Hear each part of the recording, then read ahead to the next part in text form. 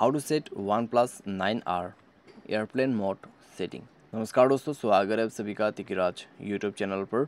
तो दोस्तों, आज के इस वीडियो पर मैं आपको बताऊँगा कि कैसे आप जो है वन प्लस के डिवाइस में एयरप्लेन मोड सेट कैसे कर सकते हैं। ठीक है? तो आप इस वीडियो को दोस्तों अंत तक देखें, मैं आपको बताऊँगा कैसे आपको इनेबल करना है, कैसे आपको डिसेबल करना है। ठीक है? तो वीडियो शुरू करते हैं। वीडियो शुरू करने से पहले दोस्तों, अगर आपने चैनल को सब्सक्राइब नहीं किया है तो सब्सक्राइब करते हुए बेल आइकन को क्लिक करें।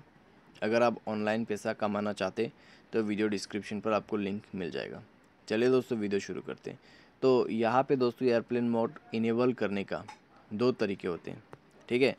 पहला तो दोस्तों, आप सेटिंग पर जाइए। ओपन कीजिए अपना वाईफाई नेटवर्क उसके बाद यहाँ पे एयरप्लेन मोड का ऑप्शन है। आप यहाँ पे एयरप्लेन मोड कर सकते हैं। ठीक है? ये तो हो गया दोस्तों, पहला ऑप्शन। अभी दूसरा ऑप्शन देखिए।